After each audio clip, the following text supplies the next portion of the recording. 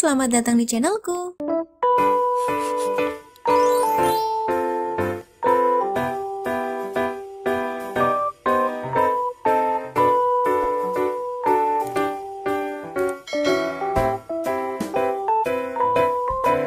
Hai teman-teman, kembali lagi di video aku. Sebelum aku mulai ke videonya, aku mau ngucapin terima kasih buat antusias teman-teman semua yang udah nonton video touring aku kemarin. Terima kasih untuk komen-komen positifnya, terima kasih untuk segala supportnya Dan juga di antara komen teman-teman banyak juga yang nanyain mengenai apa aja sih tipsnya sebelum touring. Ada juga bahkan yang belum berani untuk touring karena teman-teman itu memikirkan bagaimana nanti ketika di sana gitu selama di perjalanan kalau ngantuk berhenti di mana kalau lapar mau makan berhentinya gimana atau segala macam lah gitu ya. Jadi di video kali ini aku mau berbagi tips touring motor buat teman-teman yang masih pemula. Tapi kembali lagi, ini adalah tips yang aku bagikan ke teman-teman berdasarkan pengalaman yang udah aku alamin.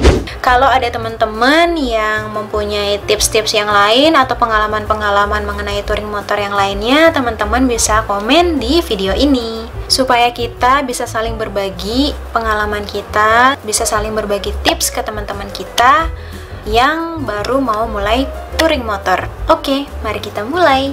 Nah, pertama aku mau membahas tentang tips apa aja sih yang perlu dipersiapkan sebelum kita memulai touring motor. Ini sih lebih tepatnya ke persiapan beberapa hari sebelumnya sebelum kita akan melakukan perjalanan jarak jauh gitu ya. Yang pertama pastinya kita harus menyiapkan SIM, KTP, dan STNK.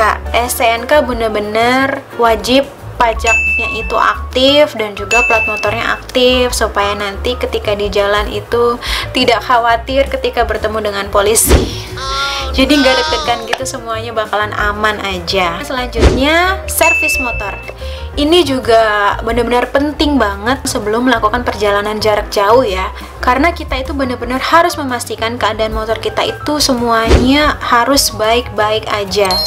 Terutama teman-teman tuh harus servis seperti ganti oli cek aki dan juga mengecek keadaan ban motor kita gitu. Kalau aku pribadi sih aku lebih suka uh, ban tubeless ya kalau ketika melakukan perjalanan jarak jauh makanya motor aku itu udah aku ganti ban tubeless. Kenapa? Karena meminimalisir saat terjadi kebocoran di jalan. Kalau pakai ban tubeless itu kayak lebih nggak terlalu ribet aja gitu dibandingkan pakai ban dalam. Kalau ban dalam ketika kena paku ketusuk gitu. Kalau udah kempes pasti kan kita bener-bener harus nyari tukang tambal ban saat itu juga. Karena bener-bener udah nggak ada angin yang tersisa. Jadi ringkes lah gitu kalau pakai ban tubeless. Dan aku sih lebih rekomen yaitu teman-teman sebelum melakukan perjalanan juga kalau bisa bannya diganti yang tubeless lebih enak. Tapi kalau enggak juga nggak apa-apa. Semoga ya selama teman-teman di perjalanan tetap aman-aman aja gitu. Next adalah kaca helm. Ini juga penting kalau menurut aku ya. Kenapa kaca helm itu penting? Kalau misalkan kaca helmnya teman-teman itu udah buram, itu bakal mengganggu penglihatan selama perjalanan. Jadi kalau helmnya teman-teman kacanya itu udah mulai buram, udah banyak baret-baretan, lebih baik diganti ya. Jangan memaksakan pakai kaca itu. Murah kok kacanya gitu. Beli kaca-kaca helm yang biasa aja. Yang penting ketika melakukan perjalanan kita tuh ngelihat itu bisa benar-benar jelas gitu. Terutama itu berasa banget ketika di malam hari. Apalagi kalau ngelewatin jalan yang dua arah gitu. Cahaya dari depan kita dari arah berlawanan itu ketika di malam hari kalau pakai kaca helm yang buram itu bener-bener mengganggu penglihatan banget dan itu bahaya. Nah jadi teman-teman bisa ganti kaca helmnya dulu sebelum melakukan perjalanan. Selanjutnya adalah lampu motor. Ini udah aku alamin ketika aku touring sama suami aku. Jadi kemarin itu waktu kita touring bohlam lampu motor kita itu masih pakai bohlam yang standar. Ternyata di saat dibawa ke perjalanan jauh, apalagi udah malam hari dan juga hujan lebat, cahayanya benar-benar kurang banget. Aku menyarankan teman-teman untuk mengganti bohlam lampu teman-teman dengan bohlam lampu yang LED yang jauh lebih terang dari bawaan standarnya. karena itu bakalan ngebantu teman-teman banget ketika di malam hari ya apalagi ketika teman-teman ngelewatin jalanan yang berlubang kalau bisa teman-teman juga pasang lampu eksternal. Itu juga akan memberikan lampu jarak jauh yang benar-benar maksimal banget ketika teman-teman di perjalanan. Selanjutnya adalah kunci motor tambahan. Nah ini juga penting ya teman-teman. Apalagi kita kalau misalkan perjalanan jauh kan pasti bakalan sering parkir-parkir di sana sini Apalagi kalau misalkan kita capek mau istirahat gitu supaya kita nggak was-was motor kita kenapa-napa gitu jadi aku menyarankan teman-teman untuk membeli kunci kunci pengaman tambahan kalau kemarin itu aku beli namanya kunci dislock gitu jadi kuncinya itu nyantol di dis motor atau di cakramnya supaya lebih aman lah gitu. Selanjutnya, teman-teman bisa beli tas bagasi tambahan untuk di motor teman-teman ya. Contohnya kayak kemarin aku itu beli box motor dan juga aku beli tas bagasi untuk di samping untuk kapasitas tambahan aja sih sebenarnya. Karena apalagi kalau misalkan teman-teman melakukan perjalanan jarak jauh itu nggak mungkin barang-barang yang kita bawa itu benar-benar sedikit banget. Pasti akan ada beberapa barang-barang yang perlu kita bawa. Dan kalau misalkan nggak muat itu teman-teman bisa pakai tas-tas bagasi tambahan seperti yang aku udah sebutkan tadi oh ya kalau bisa teman-teman beli tas bagasinya itu yang tahan dengan air ya yang tidak tembus air.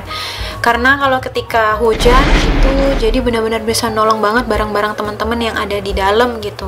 Gak akan ngerembes jadi aman. Selanjutnya adalah jas hujan.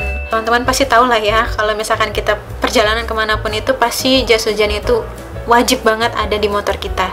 Jadi di sini aku mau kembali lagi mengingatkan bahwa jas hujan itu penting, jadi jangan sampai ketinggalan. Oke? Okay? Buat teman-teman yang biasanya pergi suka bawa-bawa tas agak lumayan besar gitu. Nah, atau bawa tas apa pun seperti tas ransel gitu.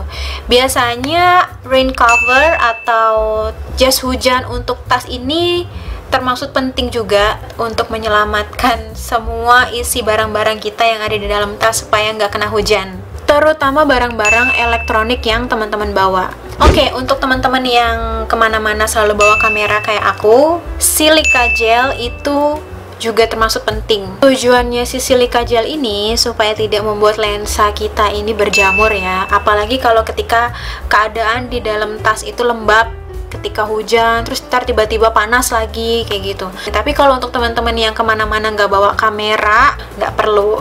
Sarung tangan cukup penting selama melakukan perjalanan ya. Karena satu pastinya supaya tangan kita ini juga saat mengendarai motor itu mencengkram handle grip atau grip motor itu nggak licin.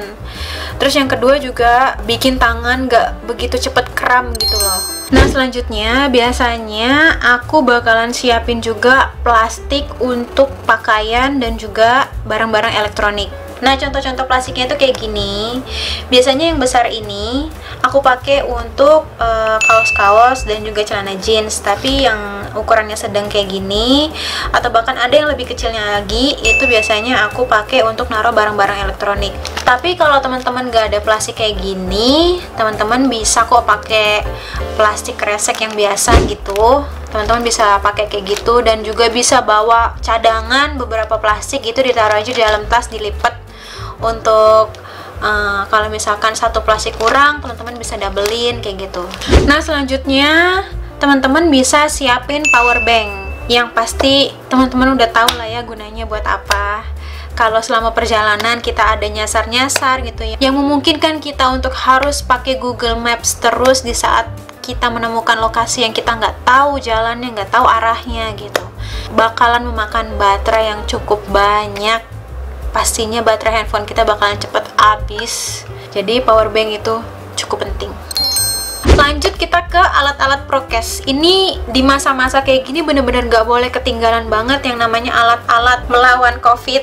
Jadi yang pastinya itu masker. Teman-teman harus banget bawa masker. Pastinya hand sanitizer ini wajib kita bawa ke mana-mana ya selama masa pandemi kayak gini. Selanjutnya biasanya aku itu bakalan menyiapkan dua tas yang akan aku bawa satu itu tas yang cukup lumayan besar atau tas sedang yang aku taruh barang-barang yang gak akan aku bongkar-bongkar sama sekali selama di perjalanan.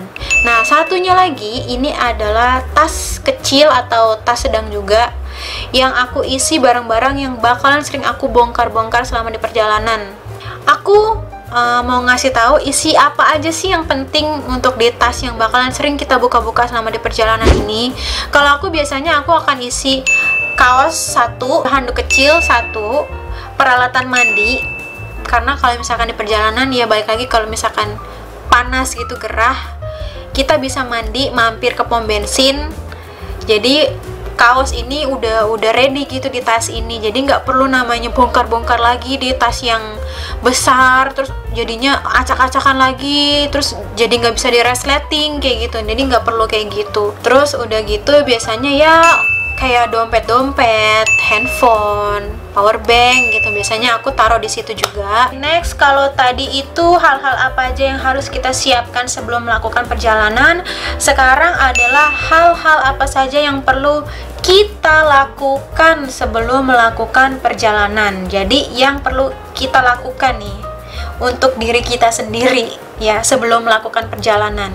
Yang pertama, biasanya H-1 itu uh, kalau aku itu bener-bener nggak makan yang macam-macam sama sekali nggak makan yang aneh-aneh nggak makan yang pedes-pedes yang asam-asam gitu.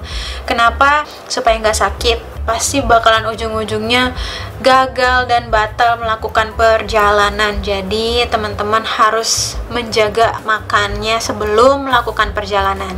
Kedua adalah istirahat yang cukup dan juga minum vitamin jadi kalau bisa teman-teman itu tidur 8 jam terus juga minum vitamin.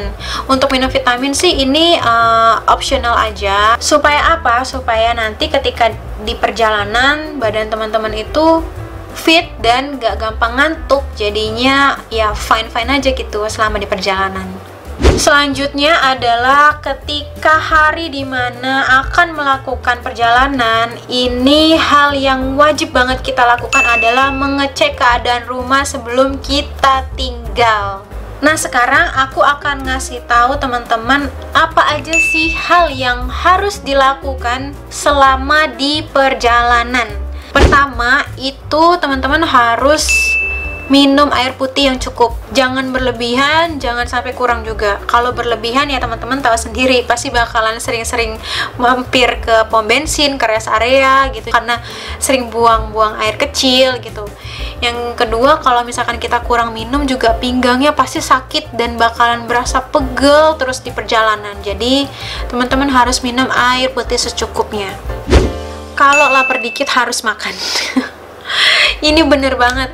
Kalau teman-teman lapar itu dikit-dikit harus makan. Jadi kalau lapar ya ketemu tempat makan ya berhenti aja gitu makan. Gak usah nunggu-nunggu sampai ah nanti aja deh ketika udah nyampe sini baru makan. Ah nanti aja deh makannya. Kayak gitu masih kuat kok. Karena itu bakalan mengganggu energi teman-teman ketika di perjalanan.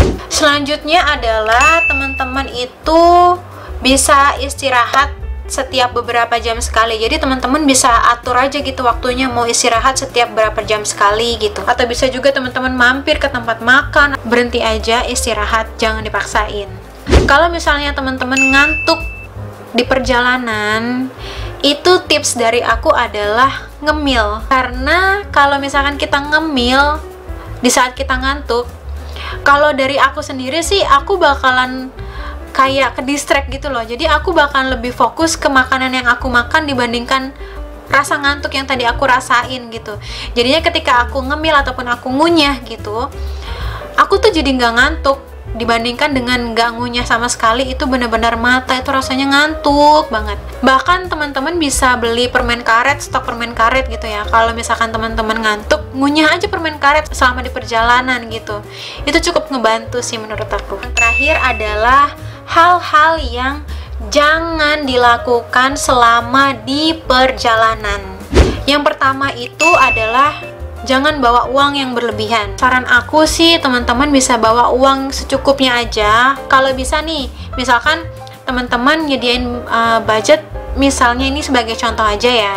Teman-teman nyediain budget uh, eh, 500.000 selama di perjalanan.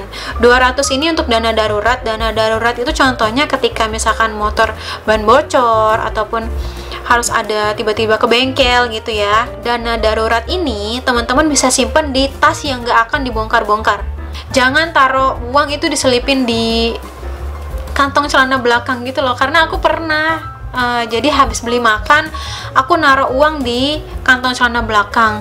Dan ketika aku mau ngambil uang aku tuh lupa. Ternyata di sela-sela uang yang mau aku ambil itu ada uang lagi. Jadinya dia jatuh gitu dan hilang gitu. teman-teman jangan makan makanan yang mengganggu perut selama di perjalanan.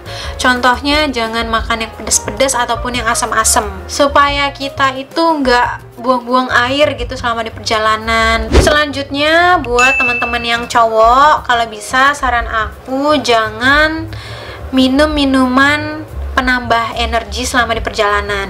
Mungkin ada di beberapa teman-teman yang cocok-cocok aja gitu minum minuman penambah energi gitu ya. Tapi kalau bagi teman-teman yang gak terbiasa tiba-tiba minum minuman yang seperti itu gitu, itu akan membuat jantung teman-teman itu kayak berdebar-debar gitu ya. Apalagi kalau sampai teman-teman minum itu di saat lupa makan gitu. Kalau menurut aku ya lebih baik kita itu makan yang cukup aja. Kita makan yang cukup, sering-sering makan dan juga minum air putih yang cukup, itu juga pasti bakalan ngebangkitin energi kita kembali gitu. Karena tenaga yang udah kita keluarin selama di perjalanan itu bakalan kembali lagi ketika kita makan memasukkan energi lagi ke dalam tubuh kita gitu itu bakalan balance gitu. Selanjutnya jangan berhenti di tempat yang gelap ataupun sepi karena ini benar-benar bahaya banget terutama di malam hari ya buat teman-teman semuanya. Kalau teman-teman perginya barengan sama teman-teman yang lain gitu bergerombolan gitu itu sih mungkin ya nggak apa-apa kalau berhenti di tempat gelap gitu ya karena kan rame teman-teman kita. Tapi buat teman-teman yang melakukan perjalanan hanya bersama pasangannya berdua ataupun sendiri gitu ini benar-benar bahaya banget.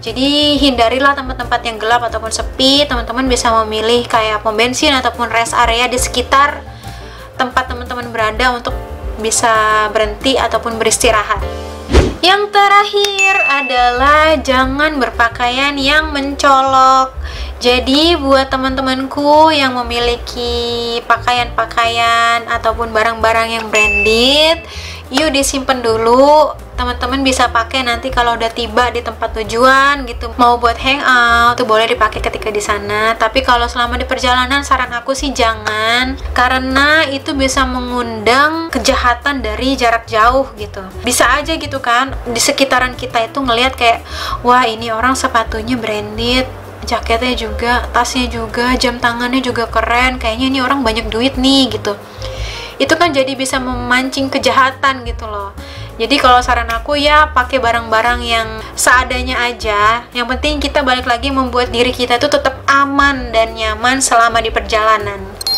Oke teman-teman, itu dia tips-tips yang aku sampaikan ke teman-teman berdasarkan pengalaman yang udah aku alami sendiri. Jadi balik lagi, kalau emang teman-teman uh, ada yang mempunyai pengalaman yang lain ataupun tips-tips yang lainnya, jangan sungkan-sungkan untuk sharing juga dengan aku ataupun bisa komen aja di video aku supaya kita bisa berbagi atau saling memberitahukan kepada teman-teman yang lainnya gitu. Dan juga beberapa tips perlengkapan-perlengkapan yang udah aku jelasin tadi itu teman-teman bisa terapin juga ketika teman-teman melakukan traveling gitu ya. Aku harap video ini benar-benar bisa membantu teman-teman untuk melakukan persiapannya sebelum touring bahkan selama di perjalanan gitu ataupun traveling gitu. Semoga video ini benar-benar ngebantu teman-teman dan juga semangat buat teman-teman yang belum pernah melakukan touring sama sekali. Yuk teman-teman pasti bisa. Mulai aja dari yang dekat-dekat dulu gitu. Apalagi kalau teman-teman bisa pergi sama pasangan gitu ataupun sama teman-teman gitu pastinya bakalan seru banget Sampai jumpa di video aku yang selanjutnya. Dah. Terima kasih sudah menonton video ini. Silahkan like, komen, dan subscribe supaya tidak ketinggalan videoku yang selanjutnya.